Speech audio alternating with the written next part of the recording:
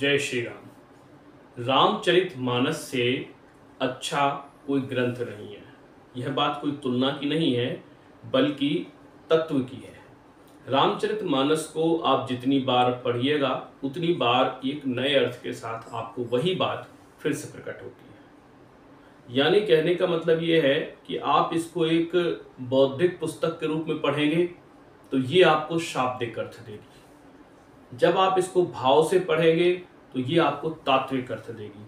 और जब आप इसमें डूब कर पढ़ेंगे तो ये आपको वास्तविक अर्थ देगी। यानी रामचरितमानस मूलतः तीन तरह के अर्थ देती है। शाब्दिक, तात्विक और वास्तविक। तो वास्तविक अर्थ क्या है? वास्तविक अर्थ वो है, जिस भावना के साथ मानस को तुलसीदास जी ने लिखा है। बहुत सारे वाद हैं, विवाद हैं और रामचरित मानस सदा से ही सनातन का एक ऐसा ग्रंथ रहा है कि जिस पर सबका टारगेट है। क्यों? क्योंकि रामचरित मानस घर घर में समाया हुआ, पढ़ा जाने वाला, सम्मानित ग्रंथ है।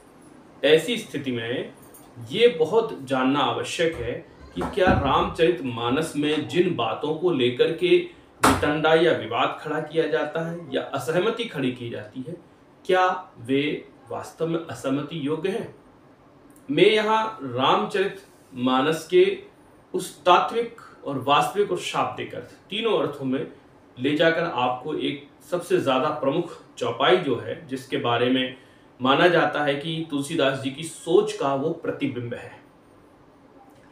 ये सब डिटेल करने से पहले मैं एक चीज़ बहुत साफ़ कर देना चाहता हूँ कि जो चीज़ हमको पता है, सिर्फ़ वही ब्रह्मांड में है, ऐसा नहीं हो, सोचना चाहिए। या जिसका अर्थ हमें मालूम है जो अर्थ मालूम है, वही उसका अर्थ है, ऐसा भी नहीं सोचना चाहिए। क्योंकि अध्यात्म और धर्म में बहुत सारे प्रसंग और संदर्भ अलग अलग होते हैं, और देश और काल, परिस्थिति, खंड, अखंड, समय अलग अलग चीज़ें होती हैं। ऐसी स्थिति में ये कहना बहुत ठीक नहीं होगा कि इसका यही अर्थ होता है। तो कोई भी निर्णायक अर्थ पर नहीं पहुँचना चाहिए।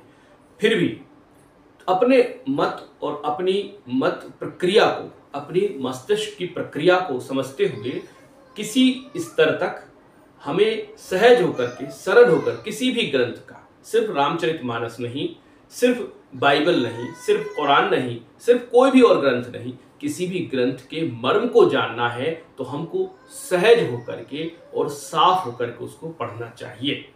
अगर हम उसमें कोई लेप रखेंगे, कोई आग्रह रखेंगे, कोई क्षेपक रखेंगे, कोई हमारा अपना कोई पूर्व ज्ञान रखेंगे, या हम एक विचार के साथ आगे बढ़ेंगे तो वह, वही अर्थ देगा जो अर्थ आप कोई मस्तिष्क में पहले से भरा है। तो मानस को पढ़ने के लिए, मानस को जानने के लिए, मानस को समझने के लिए सर्वोत्तम तरीका यह है कि आप उस अपने मस्तिष्क को, मन को पूर्ण रूप से रिक्त कर लीजिए और भाव से सिक्त कर लीजिए। फिर आप पढ़िए। भाव का अर्थ विश्वास नहीं है। भाव का अर्थ है सहजता। जो हैं आप, वही बन जाइए। जैसे हैं आप, वैसे ही बन जाइए। स्वाभाविक। जब स्वाभाविक हो जाएँगे, यानी भाव में, स्वभाव में हो, जब आपके स्वयं के भाव में आ जाएँगे, भाविक हो जाएँगे, स्वाभाविक हो जाएँगे तो खुद ब खुद जो इसका अर्थ है वो आप समझ पाएँगे। आज की जो चौपाई है, वो है ढोल गंवार शूद्र पशु नारी। इसको अवधि में लिखा गया, ढोल गवार शूद्र पशु नारी, सकल ताड़ना के अधिकारी। अब बहुत सारे जो विद्वान हैं, वो इस चौपाई को डिफेंड करते हैं। और बहुत सारे विद्वान हैं जो इस चौपाई को ऑफेंड करते हैं। यानी कि वो इस चौपाई के माध्यम से मानस के संपूर्ण तत्व पर प्रहार करते हैं। और बहुत सारे ऐसे विद्वान हैं जो इसके बचाव में ऐसे उतर आते हैं कि ताड़ना के अर्थ को अलग अलग ढंग से परिभाषित करने लग जाते हैं। परंतु ये सत्य नहीं है। मैंने जैसे पहले कहा कि जो हमें पता है वही सच है, जो हमें नहीं पता है वो सच नहीं है, ऐसा नहीं होता। है बहुत सी चीज़ें हैं जो हमें नहीं मालूम। हम दिल्ली कभी नहीं गए तो इसका अर्थ ये नहीं है कि दिल्ली नहीं है। या हमने कभी ये नहीं महसूस किया है कि दिल्ली की हवा खराब है तो इसका अर्थ ये नहीं है कि वहाँ की हवा खराब है या साफ़ है, क्योंकि हमने महसूस नहीं की है। तो बहुत सारे जो संदर्भ होते हैं, बहुत सारी जो शोध होते हैं, वो हो रहे होते हैं, जब जब जैसे जैसे हमारे सामने आते, हम वैसे वैसे स्वीकारने लगते हैं। जैसे वर्षों तक वर्षों तक ये माना जाता रहा कि पृथ्वी चपटी है। बहुत वर्ष पहले ये पता चला कि पृथ्वी गोल है। सनातन में तो ये पहले से ही मालूम था कि पृथ्वी गोल है। तो दुनिया कुछ भी सोचती रही हो, सनातन उसको गोल ही मानता था। इस तरह से अगर देखें तो ढोल, गंवार, शूद्र, पशु, नारी के सबसे पहले मैं शाब्दिक अर्थ पे आपको लिए चलता हूँ। तो शाब्दिक अर्थ तो इसका साफ़ साफ़ दिख ही रहा है।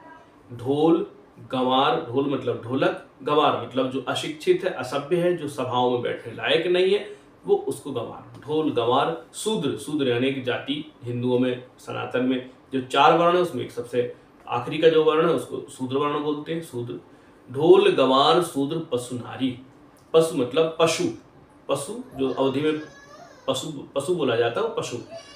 पशु और ढोल गवार, शूद्र पशु नारी, सकल ताड़ना के अधिकारी। ढोल गवार, शूद्र पशु और नारी, ये सब जो है, प्रताड़ना के अधिकारी। ताड़ना का अर्थ, अच्छे से सुन लीजिए। ताड़ना का अर्थ, ताड़ना ही है, प्रताड़ना ही है, उसका और कोई अर्थ नहीं है। प्रहार ही है, प्रहार ही है उसका अर्थ। इससे बिल्कुल आप विमुख मत होइए, आप इसको डिफेंड मत कीजिए। यही अर्थ है उसका। अब अब सवाल ये उठता है, अगर यही अर्थ है तो ढोल तो ठीक है, आप प्रताड़ित करोगे तो बजेगी। और गंवार भी ठीक है, उसको सुधारने के लिए आपको डंडे की आवश्यकता पड़ेगी।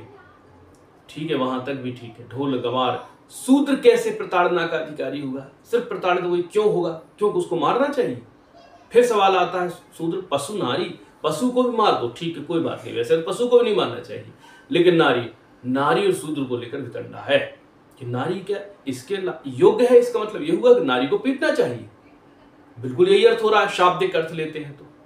शब्द अगर आप सुनते हैं, ढोल गवार शूद्र पशु नारी सकल ताड़ना के अधिकारी का शाब्दिक जो अर्थ है, वो यही है जो आपने में अभी सुना। मारना चाहिए इनको, परंतु शाब्दिक अर्थ है। रामचरित मानस, शाब्दिक अर्थ का अर्थ नहीं है। रामचरित मानस का अर्थ शाब्दिक अर्थ कभी नहीं है। रामचरित मानस में ऐसी बहुत सारी क्षेपक कथाएँ हैं, बहुत सारे प्रसंग हैं, बहुत सारे संदर्भ हैं, और पूरा एक लय में गाई हुई कथा है ये। गीतात्मक काव्य है ये। इसको गाने का काव्य है ये। तो शब्द के अर्थ नहीं है इसमें। शब्द से अगर अर्थ निकालेंगे तो कुछ नहीं समझ पाएँगे। जैसे हम राष्ट्रीय राजमार्ग पर चल रहे होते हैं तो उस पर एक सीधा एरो बना रहता है, सीधा। और उस पर लिखा रहता है, दिल्ली 200 किलोमीटर, ये जो भी। सीधा एरो बना रहता है। क्यों? क्योंकि हम जहाँ हैं, वहाँ से हमको दिशा बताई जा रही सिर्फ़। इसका अर्थ ये नहीं रोड पूरा पूरा सीधा सीधा सीधा सीधा है वहीं तक। रोड में जर्क आएँगे, मोड़ आएँगे, टर्न आएँगे, लेकिन जिस जगह से हम खड़े हैं, वहाँ से दिल्ली के लिए रास्ता सीधा है। ऐसे ही शब्द का जो अर्थ होता है ना, वो जो बताया जाता है शब्द का अर्थ, जो शब्द का अर्थ जैसा का तैसा सुनाई देता है, वो वैसा का वैसा नहीं होता। आप उदाहरण से बेहतर समझे होंगे कि हमको कहीं जाना है तो डेस्टिनेशन पर लिखा रहता है कि सीधे फला जगह। सीधा रोड नहीं होता। कई सारे टर्न्स आएँगे, कई सारे और भी जिगजैक्स आएँगे। जब जब जैसे जैसे आएँगे, तब तब वैसे वैसे बताए जाएँगे। जैसे आप सीधे अभी जा रहे हैं। आगे चलकर दिल्ली के लिए आपको राइट मुड़ना पड़ सकता है। तो फिर आपको वहाँ एरो मिलेगा, दाएँ मुड़िए। फिर आप क्या कहेंगे? अरे, अभी तो ये सीधा जाना है। अभी दाएँ मुड़िए क्यों बोल रहा है? क्योंकि जब उसने बोला था, तब आप दिल्ली से कई किलोमीटर दूर थे। जब आप जैसे नज़दीक आए तो उसमें एक मोड़ की आवश्यकता पड़ी, एक नए अर्थ की आवश्यकता पड़ी, नए भाव की आवश्यकता पड़ी, नए मोड़ की आवश्यकता पड़ी तो वहाँ आपको मुड़ना पड़ेगा। ऐसे ही किसी भी ग्रंथ के शब्दों के अर्थ को अगर आप लेंगे तो शाब्दिक अर्थ जो होते हैं, वो ठीक इसी तरह के नेविगेशन होते हैं। नेविगेशन अब बात सवाल ये आता है कि नेविगेशन भी क्या ये कह रहा है कि नारी को और शूद्र को प्रताड़ित किया जाना चाहिए? जी। अभी फ़िलहाल में आप यही मानिए कि नेविगेशन यही कह रहा है। अब हम आगे बढ़ते हैं। ये तो शाब्दिक अर्थ की बात होगी। अब आइए भाविक अर्थ की, भावना वाला। इसका भाव क्या है? भाव उसका ये है कि ये कुछ श्रेणियाँ हैं, जिन श्रेणियों के साथ अलग ढंग से ट्रीट किया जाता है। तो पहले तो ये समझिए किसने किससे कहा है। भाव में जब आप जाएँगे तो रामचरित मानस कई पात्रों को मिलाकर एक कथा है। कई पात्र हैं। राम जी हैं, सीता जी हैं, दशरथ जी हैं, कैकेयी हैं, कौशल्या हैं, हनुमान जी हैं, सुग्रीव हैं, बाली हैं, अंगद हैं, नल हैं, नील हैं, रावण है, अहिरावण है, कुंभकर्ण है, विभीषण है, मंदोदरी। बहुत सारे पार्ट हैं, बहुत सारे पात्र हैं। इतने सारे पात्र हैं तो पात्र आपस में अपने स्वभाव के अनुरूप संवाद करते हैं। भाव समझिएगा, पात्र अपने स्वभाव के अनुरूप संवाद करते हैं। जब आप ढोल गवार सूद्र पशुनारी की बात कर रहे हैं तो आपको उससे ठीक पहले कुछ चौपाइयाँ भी पढ़नी चाहिए, जिससे आपको क्लैरिटी होगी। क्या चौपाइयाँ पढ़नी चाहिए? कि हो ये रहा था कि भगवान राम भगवान राम, अब इस चौपाई के समय भगवान राम, लक्ष्मण और उनकी सेना समुद्र के तट पर बैठी हुई है। और राम जी सेतु उस समय तक बनाने का उनका इरादा नहीं था। राम जी विनय कर रहे हैं समुद्र से कि, भाई समुद्र, हमको रास्ता दो। हमको रास्ता दो, उस पार हमें जाना है और माता सीता वहाँ विराजमान है, उनको लेके आना है। उस समय तक भी रावण को मारने का नहीं था उनका। तो वो सिर्फ़ इतना कह रहे थे, मुझे जाने दो, मेरी पत्नी को लाने दो। किसको बोल रहे थे? समुद्र को। समुद्र तो समुद्र है। विनय से कैसे चलेगा? विनय से कैसे मानेगा? ऐसा करते करते तीन दिन बीत गए। जैसे एक दोहा है विनय मानत जलधि जड़ गए तीन दिन बीत, बोले राम सकोप, तब भय बिनु होई न प्रीत। तो राम जी ने एक मंत्र दिया। ये राम जी का वाक्य है कि तीन दिन जब हो गए, भगवान को विनय करते हुए समुद्र से समुद्र नहीं माना तो उन्होंने क्या कहा? भगवान क्रोधित होकर के बोले कि बिना डर के प्रीत नहीं होती। आपसे प्रेम, सोचें कि प्रेम रहे तो वो संभव नहीं है। थोड़ा सा भय भी आवश्यक है। भय का अर्थ होता है, सामने वाले के बराबर आना। तो कब हो जाएगा ये? तो भय बिन होत न प्रीत। तो भय बिन हो न प्रीत। ये एक दोहा है। कब से पहले? ढोल गवान सूद्र पसुनारी से बहुत पहले।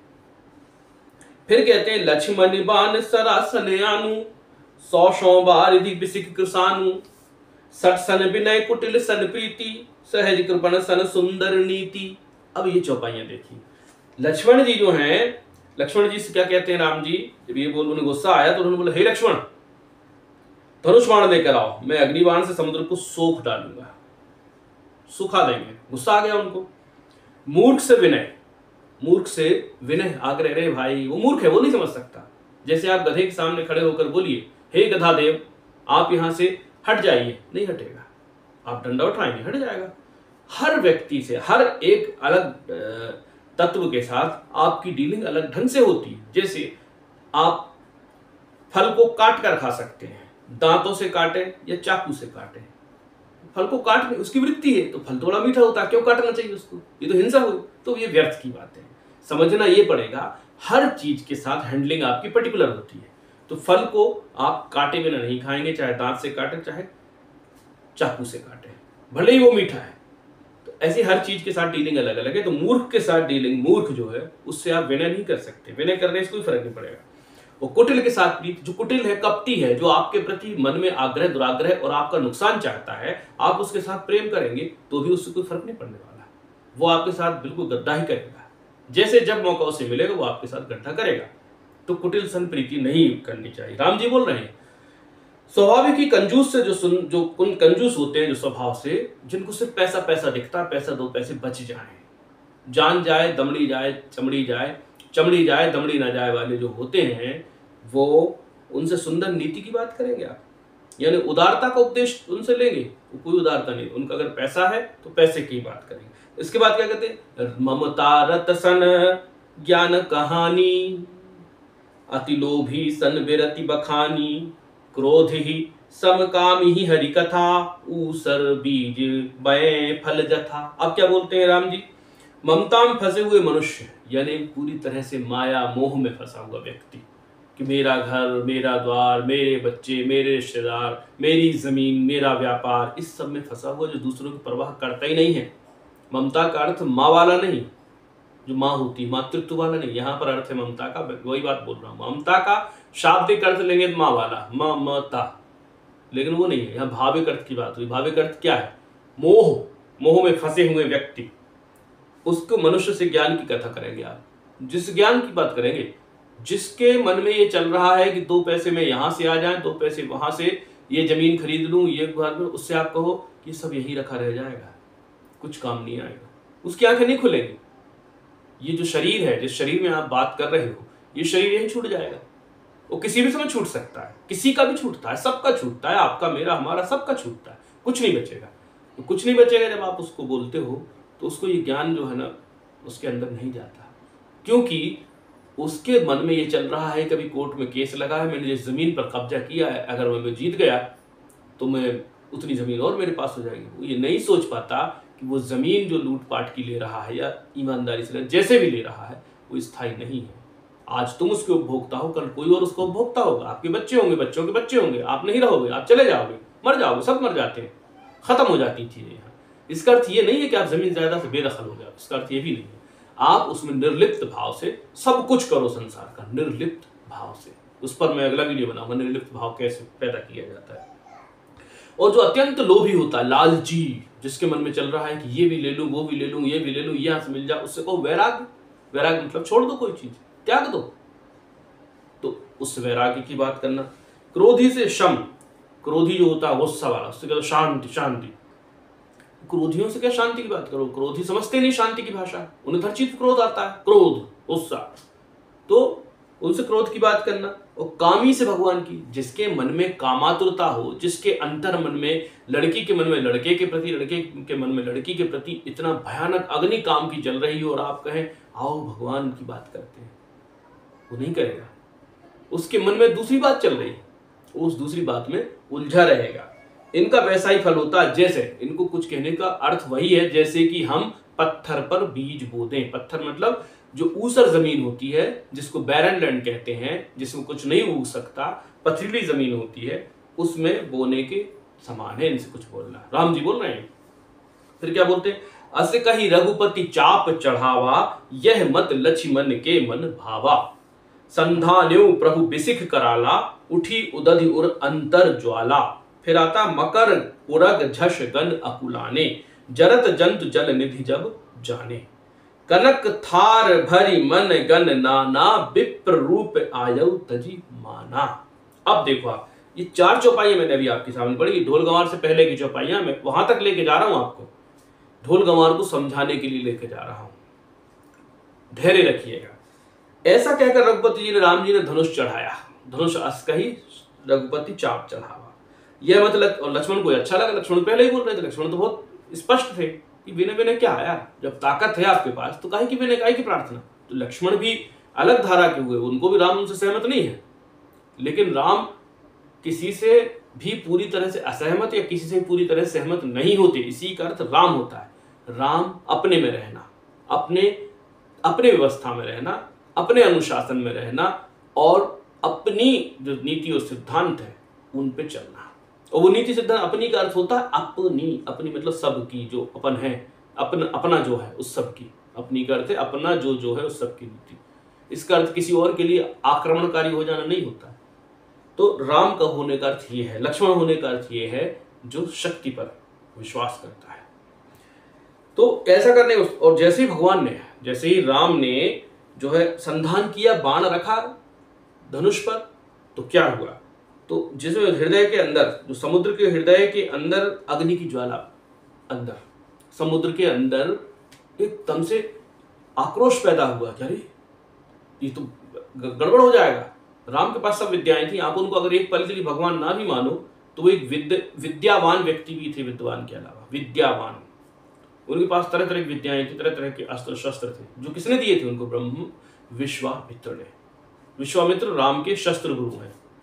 वशिष्ठ उनके कुल गुरु हैं। तो ऐसे करके हम देखते हैं तो कहाँ पहुँचते हैं कि समुद्र में अंतर ज्वालाएँ बही। फिर क्या हुआ? समुद्र के अंदर रहने वाले जो जलीय जीव हैं, वो अकुलाने लगे, परेशान होने लगे, घबराहट होने लगी। अरे, अब क्या होगा? जब जल सूख जाएगा तो हम मर जाएँगे। तो समुद्र के जीव जो है, जलते जाना। तब तब क्या हुआ? अब इधर से गलती करता है कौन? समुद्र। समुद्र कनक, थार। भरी मन गन नाना। समुद्र जो है, सोने की थाली में तरह तरह की मणियाँ जिनको गिना नहीं जा सकता, कीमती मणियाँ लेकर के भगवान राम के सामने प्रकट होता है। कौन होता है ऐसा व्यक्ति जो पहले तो सुनता नहीं है आपकी बात को? राम जी उससे विनय कर रहे हैं, जो विनय नहीं सुन रहा। और फिर विनय नहीं सुन रहा, जब उसको ताकत दिखाई तो उसने क्या किया? उसने एक और गलती विप्र रूप, और वो भी ब्राह्मण के रूप में आया। विप्र मतलब ब्राह्मण। ब्राह्मण का रूप क्यों माना गया? ब्राह्मण का अर्थ ये नहीं है। दुबे जी तिवारी जी शुक्ला जी सिर्फ़ ब्राह्मण नहीं होते। ये जाति जाति संबोधन टाइटल सिर्फ़ ब्राह्मण नहीं होता। ब्राह्मण का अर्थ है श्रेष्ठतम शरीर का, श्रेष्ठतम मन का, श्रेष्ठतम व्यक्तित्व का, श्रेष्ठतम कृतित्व का, श्रेष्ठतम व्यक्ति। उसको कहते हैं ब्राह्मण, जिसमें पाँच तरह की श्रेष्ठताएँ हो। ब्राह्मण पर अलग से मैं बनाऊँगा वीडियो। फ़िलहाल इतना समझिए। तो वो भी ब्राह्मण के रूप में, ब्राह्मण के रूप में क्या लेके आया है वो? रिश्वत। राम जी पहले विनय करी राम जी ने, वो सुनता नहीं है और जब सुनता नहीं है राम जी जब अपनी पे आए तो वो लेकर आया मणिया, सोने की थाल, रिश्वत लेके आया कि राम को खरीद लूँगा। एक योद्धा की पहले विनय नहीं सुनता है, फिर उस योद्धा को खरीदने के लिए वो लेके आता ये दो दो नीचताएँ समुद्र कर रहा है। अभी उसको एहसास नहीं, फिर क्या बोलता है? फिर राम जी बोल देते हैं कागभूषण जी कहते हैं जो गरुड़ जी को बोल रहे हैं कथा सुना रहे वो कहते हैं इस प्रसंग को देख करके गरुड़ जी बोल कागभूषण जी बोलते हैं काट ही पई कदरी फरई कोट जतन को सींच विनय न मान खगेश सुनु डाटे पई नौ नीच। तो कागभूषण जी बोल रहे हैं ये बात। राम जी भी नहीं बोल रहे हैं समुद्र भी नहीं बोल रहा और, और कोई भी नहीं बोल रहा। कागभूषण जी कौन है? जो कथा सुना रहे हैं किसको? गरुड़ जी को। तुलसीदास तो जी ने सिर्फ़ उनकी बात को यहाँ लिखा है। उनने क्या लिखा, उनने क्या बोला कि गरुड़ जी सुनो, चाहे कोई कितना जतन कर ले, जैसे आप जानते हो, केले का जो पेड़ होता है, उसकी काट करनी पड़ती है, उसको काटते हैं, तभी फलती है नहीं तो आप कितने पानी डाल दो, कितने ही खाद डाल दो, कुछ भी कर लो, वो नहीं। काटे पई, कदरी फरई कोटि जतन करो सींच। ऐसे ही कागभूषण जी कहते हैं, नीच से विनय नहीं होती। नीच से विनय आप विनय से वो नहीं मानता। नीच नहीं मानता मतलब नहीं मानता। नीच के साथ थोड़ी सख्ती करनी पड़ती है। तो राम जी ने सख्ती करी।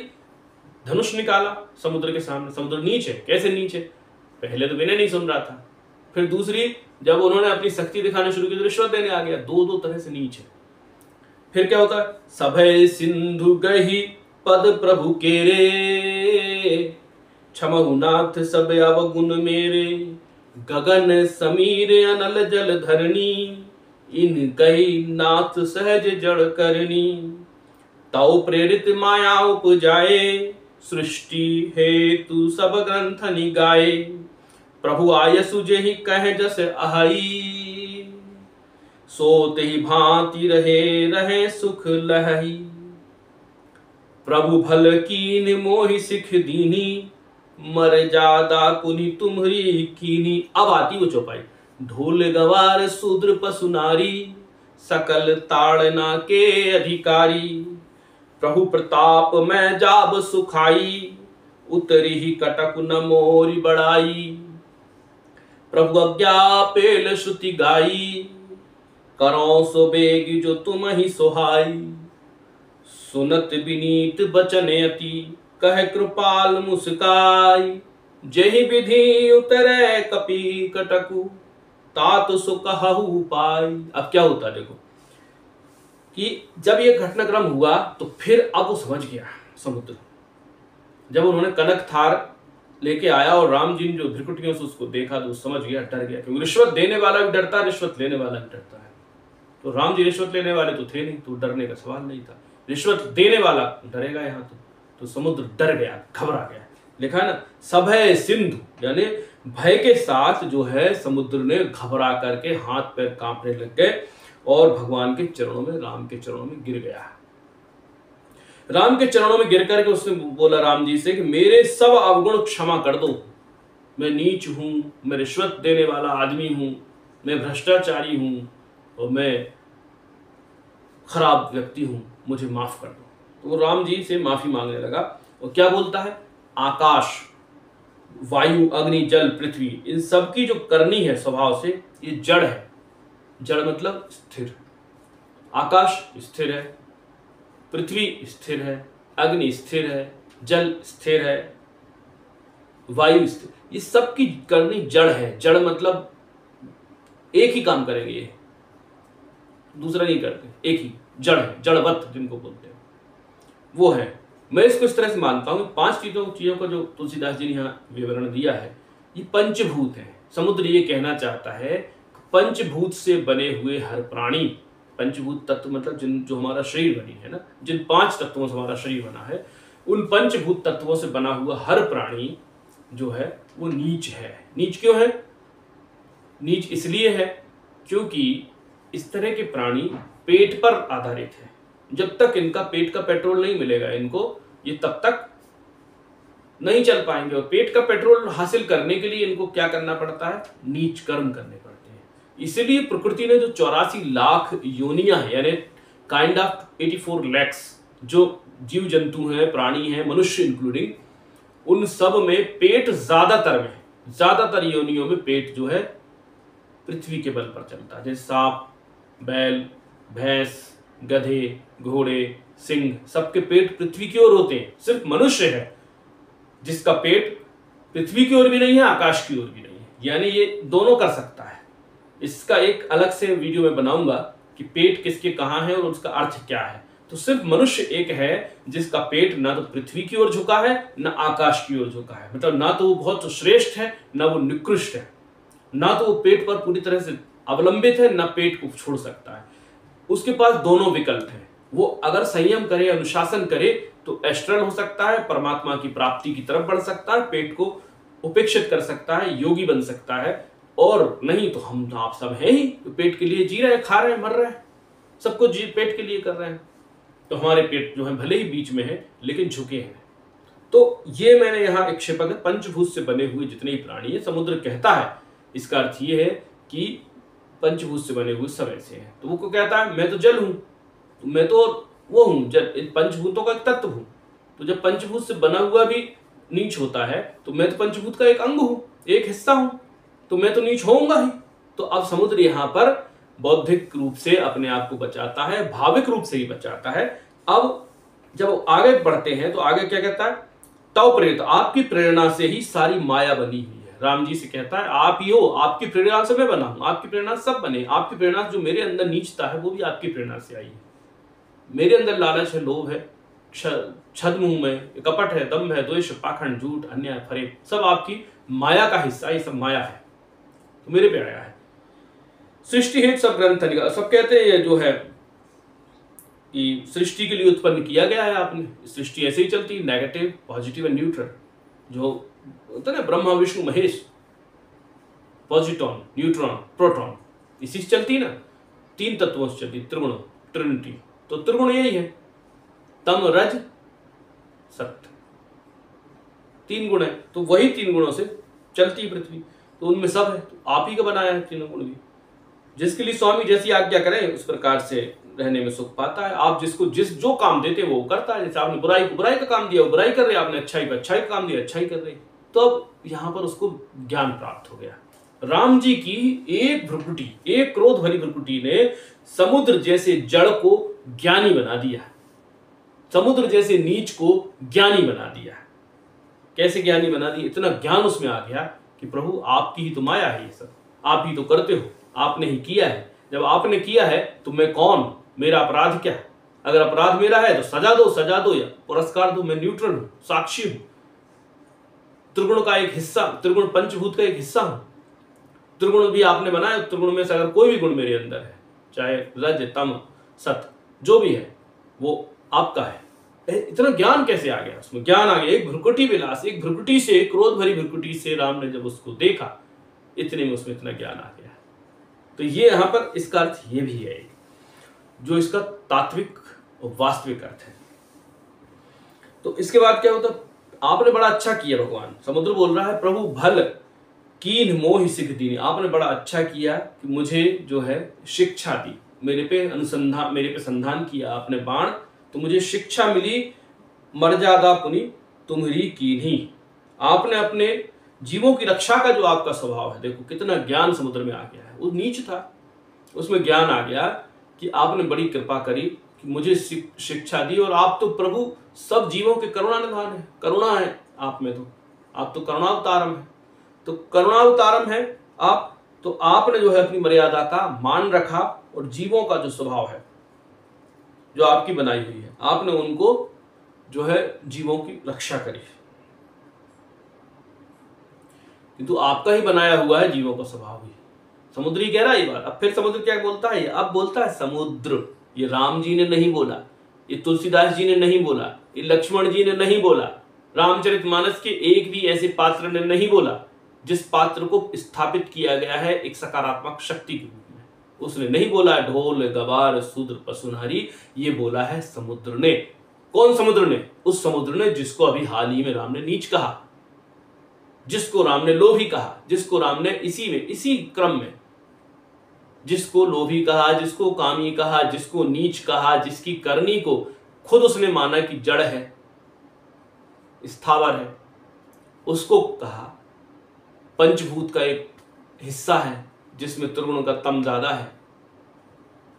उसने ये कहा, ढोल राम जी ने कहा, ढोल गवार, शूद्र पसुनारी सकल ताड़ ना की अधिकारी तो समुद्र कह रहा है ये बात। इसका है वास्तविक अर्थ। समुद्र कह रहा है कि आपने सबको स्वभाव दिया है? ढोल, गवार, शूद्र, पशु और स्त्री, ये सब जो है, ताड़ना के अधिकारी सबको सीखना, सीख देना। जो पहले बोला, क्या बोला? प्रभु भल कीन मोह सिख दीनी। आपने बड़ा अच्छा किया, मुझे शिक्षा दी।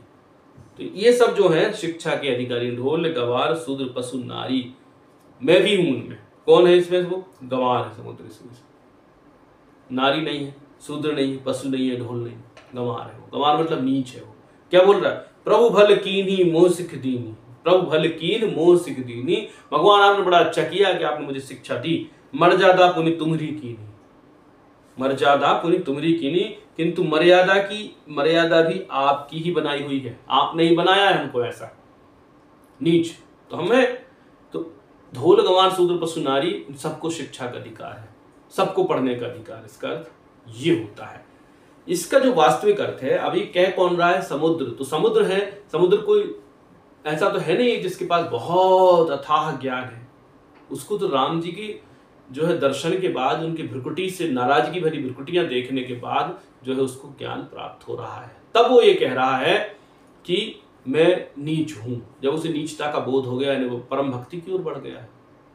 परम भक्ति की ओर बढ़ गया है तो भक्ति में, भक्ति की पहचान सबसे बड़ी ये होती है कि आप बहुत सी चीज़ों को अभिव्यक्त नहीं कर पाते जब आप अच्छी ढंग से अभिव्यक्त करते हो अपने आप को तो समझो आपकी बुद्धि काम कर रही है। तो बुद्धि काम कर रही है तो इसका अर्थ यह है कि भक्ति वहाँ नहीं हो सकती, जहाँ पर बुद्धि किसी भी रूप में विद्यमान होगी। तो बुद्धि काम करती है ज्ञान में तो भक्ति काम करती है, बिल्कुल निर्द्वंद होकर, निर्द्वंद। निर्द्वंद मतलब जिसके कोई दो अवधारणाएँ नहीं बुद्धि में तो दो क्या? मल्टीपल अवधारणाएँ होती हैं। ये ऐसा है, इसलिए क्योंकि किस लिए? तथा अपितु यद्यपि कदाचित ये सब शब्द है बुद्धि के। है राम, या कोई भी आप अपने विधाता को मानो। है है है है। भजो भजो भजो। ऐसे कुछ एक लाइन पकड़ लो भक्ति होती है। कदाचित यद्यपि, हालाँकि इसलिए, उसलिए, किस लिए, क्योंकि तथा अपितु ये सब जो है बुद्धि के खिलौने, बुद्धि की विलास, बुद्धि की वो है, चापें, जो नाव को इधर उधर भटकाती, पार लगाना बड़ा कठिन। ये कभी इधर जाएगी, कभी कायाकिंग आपने देखा होगा। कायाकिंग में नाव तेज तेज चलाते हैं सारे लोग। सब लोग एक धार में चलाएँगे, एक दिशा में जब चाप चलाएँगे तो वो तेज़ी से बढ़ती है। काटते हुए, उसको तीर, चीरते हुए पानी को। तो ये बुद्धि है, यानी इस तरह से बुद्धि काम करती है। तो ढोल गंवार सूत्र पशुनारी एक तो समुद्र ने कहा, उसका शाब्दिक अर्थ वही है जो आपने समझा। भाविक अर्थ ये है कि वो भावनाओं में बह गया समुद्र और वो उदाहरण दे रहा है। और वास्तविक अर्थ ये है कि उसकी शिक्षा के अधिकारी, क्यों? प्रभु भल कीन, मोह सिख दीनी। इसको भूल जाते हैं लोग। जब आलोचना करने बैठते हैं तो इसको भूल जाते हैं कि भल, भगवान आपने भला किया मुझे शिक्षा दी। आपकी बनाई हुई मर्यादाएँ हैं ये, कि कांटा है, चुभेगा, फूल है, महकेगा। ये आपकी बनाई मर्यादा है। फूल कांटा नहीं बन सकता, कांटा फूल नहीं बन सकता, ये आपका बनाया हुआ कौन का बनाया हुआ? राम का, भगवान का। भगवान मतलब तव प्रेरित माया उपजाए। आपकी प्रेरणा से माया उपजती है। आप सिर्फ़ हैं जो माया, मायापति कहलाते हैं। बाकी तो सब माया के हिस्से हैं। हम ये वीडियो बना रहे हैं माया का हिस्सा हम जो बात कर रहे हैं माया का हिस्सा हम जो यकीन करके भी यकीन नहीं कर पाते, वो माया है। ऐसा क्यों होता है? कि हम कुछ करना चाहते हैं, कहना चाहते हैं, वो नहीं कह पाते, नहीं कर पाते। क्यों होता है? क्यों? क्योंकि बहुत सारी ऊर्जाएँ हैं ब्रह्मांड की, जिनमें से कुछ ऊर्जाएँ हमारे लिए ठीक है, कुछ ऊर्जा हमारे लिए ठीक नहीं है। लेकिन हम चूँकि पंचभूत हैं, तात्विक, भौतिक रूप से हम जो शरीर है पंचभूत का है, और जो हमारा मन है, ये अपंचभूत का है। अपंच मतलब इसमें कोई पाँच, छह, आठ, कोई भूत नहीं। ये परमात्मा का सीधा कनेक्शन है। यूनिवर्स का वो, उसका वो है, ऊर्जा है। अब जो यूनिवर्स की ऊर्जा जो पंचभूत के साथ आती है, जैसे आपके घर में एक कंप्यूटर है लैपटॉप है, ये पंचभूत हो गया एक तरह से, शरीर। अब उसमें जो इंटरनेट आ रहा है, जो दिखाई नहीं दे रहा है, वो है आत्मा, तत्व। तो जो तो जब उसमें अंदर हम जाते हैं तो हम किससे काम करते हैं? उस आत्मा से काम करते हैं। उसमें बहुत सारी ऊर्जाएँ होती हैं। इंटरनेट पर हम जब इंटरनेट एक्सेस करते हैं, बहुत सारी वेबसाइट्स होती हैं। बहुत सारी लिंक साइट्स होती हैं उनमें फिर। बहुत बहुत विशाल विशाल वो है। कहीं भी जाते जाओ, घूमते रहो।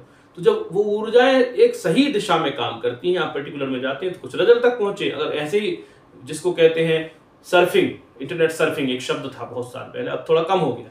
बीस साल पहले इंटरनेट इंटरनेट सर्फिंग बोलते थे। सर्फिंग सिर्फ़ करेंगे सर्फिंग का मतलब घूमना। बे सबब बिना किसी लक्ष्य के घूमना, उसको कहते हैं सर्फिंग तो वो सर्फिंग करेंगे तो आप कहीं भी नहीं पहुँच पाएँगे। पर इंटरनेट से पर्टिकुलर पर जाएँगे, जैसी एनर्जीज का होता है। एनर्जी पर मैं अलग से वीडियो बनाऊँगा। फ़िलहाल में सुनत विनीत प्रभु प्रताप, में जाब सुखाई। आपके प्रताप में सूख जाऊँगा फिर समुद्र बोलता है बोलने के बाद। उतरे ही कटक और बहुत सारे बंदर जो है वापस बाहर उस पार चले जाएँगे, इसमें कोई बड़ी बात नहीं है। आपकी आज्ञा कोई टाल नहीं सकता। जैसा आप कहें, वैसा करूँगा। लेकिन लेकिन क्या बोलता है कि प्रभु आज्ञा आप लेकिन आपकी महिमा थोड़ी कम होगी।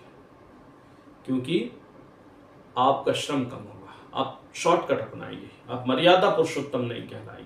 शॉर्टकट नहीं अपनाया राम जी ने कभी भी।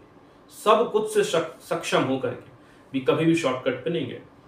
तो सुनत विनीत बचन अति कह कृपाल मुस्करे बस राम जी इतने में खुश हो गए। उसकी इतनी विनती, सिर्फ़ इतनी विनीत वचन इतने नम्र वचन उसकी सुन करके राम जी पिघल गए। यानी राम जी जरा में प्रसन्न हो गए। तीन दिन लगे उनको क्रोधित होने में। तीन दिन। गए सबको, बस गए तीन दिन बीत। राम जी को क्रोध के लिए तीन दिन का समय लगा। और पिघलने के लिए एक सेकंड, चार, पाँच चौपाइयों में पिघल गए कितना समय लगा होगा? पिघलने में उनको तीन मिनट, चार मिनट भी नहीं लगे। तीन दिन में क्रोध आए, तीन मिनट में पिघल जाए वो राम। और हम क्या है? तीन मिनट में क्रोध आता है तीन दिन में पिघलते हैं। वो भी नहीं पिघलते कई बार। तीन दिन छोड़ो, तीस दिन, तीन साल। तीन जन्म नहीं पिघलते। क्रोध आ गया, अब तो क्रोध आ गया। तो राम मतलब ठीक उलट तीन दिन में पिघल जाए, तीन दिन में क्रोध आ पाया और तीन सेकंड में पिघल गए। हम उल्टे हैं। क्रोध तो हमको तीन सेकंड में जाता है, पिघलते हम तीन जन्म नहीं ये भी एक संदेश है इसका। पिघल गए, वो बोलते हैं, जय विधि उतरे कपी कटक ताज सो कहो उपाय। राम जी उसी से उपाय पूछते हैं, भाई, ठीक है, तुमने जो बड़ी ज्ञान की बातें करी, धन्यवाद। अब हमें ये बताओ कि ऐसा रास्ता बताओ तुम्हारी मर्यादा भी बनी रहे और हम भी उस पार चले जाएँ। तो अब आगे समुद्र ने क्या कहा? ये विषय अलग है, क्योंकि मैं आपको यहाँ पर सिर्फ़ ये बताना चाहता था कि ढोल, गवार, शूद्र, पशु, नारी, सकल तार, ताड़ना के अधिकारी का शाब्दिक अर्थ, भावनात्मक अर्थ और वास्तविक अर्थ। तो शाब्दिक अर्थ तो वही है जो आपको सुनाई दिया। मारो पीटो, लेकिन शाब्दिक अर्थ, जैसे मैंने आपको उदाहरण पहले दिया। कि आपको कहीं जाना है तो आपको एरो दिखाई देगा, सीधा फला जगह जाने के लिए एरो बना सीधा। लेकिन सीधा रोड तो नहीं होता। जिस जगह तो आगे हो सकता है राइट जाए लेफ़्ट जाए, ये भी संभव है। लेकिन फ़िलहाल सीधा है वो यहाँ से। ऐसे ही इसका अर्थ है। ये अर्थ हुआ शाब्दिक अर्थ। भाविक अर्थ ये हुआ कि समुद्र राम जी से संवाद कर रहा है। तो समुद्र है। नीच बात भी कह सकता है वो तो। ऊंच बात भी। समुद्र कोई राम तो है नहीं कि वो इस, उसके मुँह से ये शब्द नहीं निकलेगा। निकल सकता है, वो कह सकता है। और वास्तविक अर्थ उसका ये है कि शिक्षा के अधिकारी है। कैसे? प्रभु बल कीन ही, कीन मोह दी। तुमने बड़ा अच्छा किया भगवान जी की मुझे शिक्षा दी, क्योंकि ये सब भी शिक्षा के अधिकारी हैं। ये सब भी। क्योंकि वो दौर कालखंड जो था, तुलसीदास जी का, मुगल काल था। मुगल काल में एक बात थी, जब नारियों की स्थिति बहुत खराब थी तो तुलसीदास जी ने समुद्र के माध्यम से बताया। उस समय पढ़ाई नहीं, पढ़ने नहीं जाती थी, स्कूल, कॉलेज नहीं जा सकती थी लड़कियाँ। बुरके में रहती, आज भी बुरके में रहती उस समाज की, उस धर्म की महिलाएँ। वो आज भी हलाला और तीन तलाक और कई चीज़ों की शिकार हैं। बहुत ही कॉम्प्लेक्स रिलीजन है इस्लाम। कुछ अच्छी बातें भी हैं उसमें। मैं कभी किसी दिन उस पर भी वीडियो बनाऊँगा। लेकिन कॉम्प्लेक्स है बहुत ज़्यादा। तो उस दौर कालखंड में जो समाज था वो पूरी तरह से नारियों की उपेक्षा करने वाला और नारियों को बहुत प्रताड़ित करने वाला था। उनको कोई अधिकार नहीं था सीख शिक्षा का। सिर्फ़ रोटी बनाओ और पुरुष के काम भावनाओं को शांत करो, बस। इसके अतिरिक्त स्त्रियों का कोई काम नहीं था। तो चूँकि राजकाज जिसका होता है, समाज भी उसी तरह से सोचता है। जैसे कि आज की स्थिति में भारत में कोई ऐसी राजनीतिक शक्तियाँ राज कर रही हैं जिससे सनातन को गौरव महसूस हो रहा है तो सनातन ऊपर उठ रहा है। जब ऐसी राज शक्तियाँ काम करती थी, जिन, जो सनातन की उपेक्षा करती थी तो सनातन दबा कुचला हुआ था, उपेक्षित था। तो ये जो है राजकाज व्यवस्था से समाज पर असर पड़ता है तो उस समय का जो राजकाज था, वो मुगलों के हाथ में था। मुगलों के हाथ में था तो उस समय की जो व्यवस्थाएँ थी, उस समय का समाज था, वो मुगलों के अनुरूप ही चलना चाहिए था तो वैसा चल रहा था। ऐसी स्थितियाँ, ऐसा नहीं कि हिंदुओं में नहीं थी। हिंदुओं में भी हो गई थी, क्योंकि भाई समाज ऐसा है, राज ऐसा है, राज ऐसा है, समाज ही वैसा ही होगा। तो राज का समाज का बड़ा गहरा संतुलन होता है। जैसा राज, वैसा समाज। तो उस समय के लिए उन्होंने ये लिखी थी। अब शूद्र क्यों लिखा है? तो शूद्र भी इसीलिए लिखा था, क्योंकि शूद्रों को भी, शूद्रों को भी उस समय पढ़ने का अधिकार नहीं था। इसमें मुगलों का अपना रोल सिर्फ़ इतना था कि उनको बटे हुए हिंदू मिल गए, बटे हुए भारत के लोग मिल गए, बटे हुए, आपस में, एक दूसरे से चिड़े हुए। तो बहुत आसान था उनको राज करना कि ब्राह्मणों को अपनी सभाओं में उच्च पद दो क्षत्रियों को अपनी जो है शस्त्रागारों में लड़ाई लड़वाने के लिए उनको सेनापतियों के पद दो और वणिकों को अपनी बेईमानी बेईमानी करने दो, व्यापार करने दो और कर वसूलने के हिसाब से उनको जो कुछ अंधा काला पीला करना वो करने दो। और बाकी जो बची वो सबसे बड़ी जातियाँ थी, सेवक वर्ग। सबसे बड़ा हिस्सा था। उस पर कैसे राज करें? फिर बोले, इस पर राज करने के लिए इन तीन को प्रमुखता दो। किसको? ब्राह्मण, बनिया और क्षत्रिय। इनको प्रमुखता दो तो उन्होंने वो दिया, ये तो ये क्या थी, व्यवस्था थी, लेकिन उग्र नहीं थी उस समय। पर मुगलों को राज करने के लिए रास्ता दिखाई दिया, उन्होंने वैसा किया और अंग्रेज़ों ने इसको और ज़्यादा ढंग से किया। अंग्रेज़ तो प्रबंधन के मास्टर माने जाते हैं। उन्होंने और प्रबंधित करके, और सुपरवाइज करके इसको इम्प्रोवाइज करके, सुधार करके इसको इस्तेमाल किया।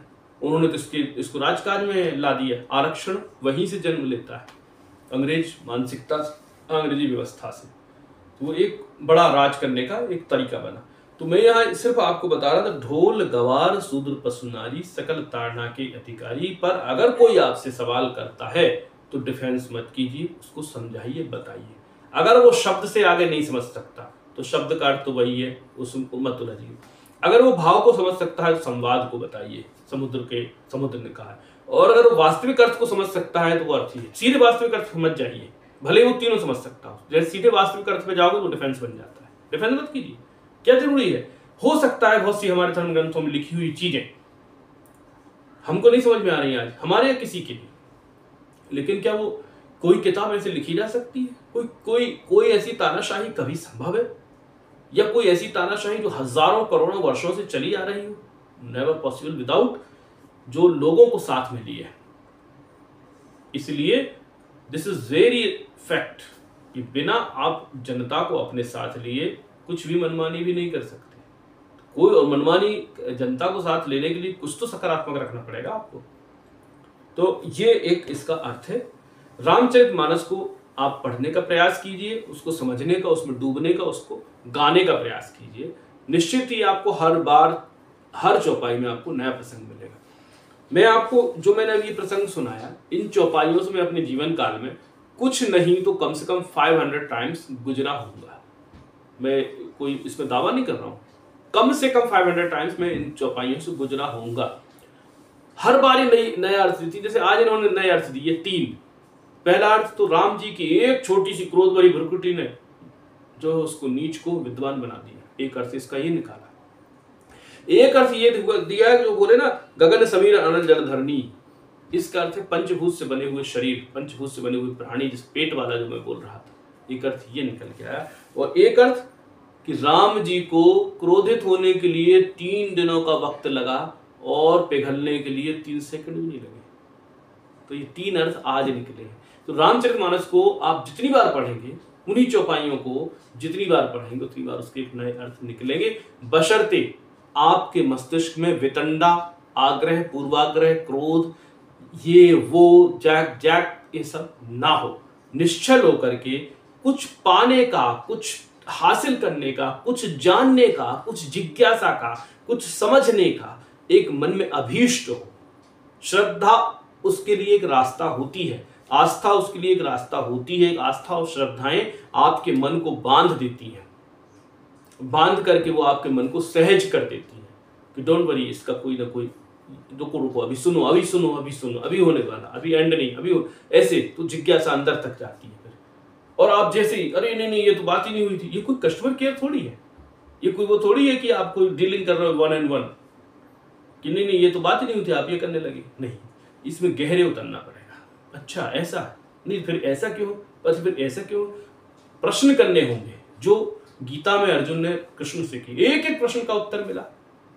बताइए, कोई इस बात को अगर शाब्दिक रूप से देखेगा जस्टिफाई करेगा कि कोई कोई एक भतीजा अपने ताऊ को, अपने गुरु को बाण से मार रहा है और वो कह रहा, महान Arjun how it is possible शाब्दिक रूप से आपको ऐसा लगेगा। लेकिन जब आप गीता को पढ़ेंगे, जब अट्ठारह दिन जो थे महाभारत के, उनको समझेंगे, उनमें, उनके मर्म को जानेंगे तो पता चलेगा कि यार, विमर्श किसको कहते हैं? जय श्री राम।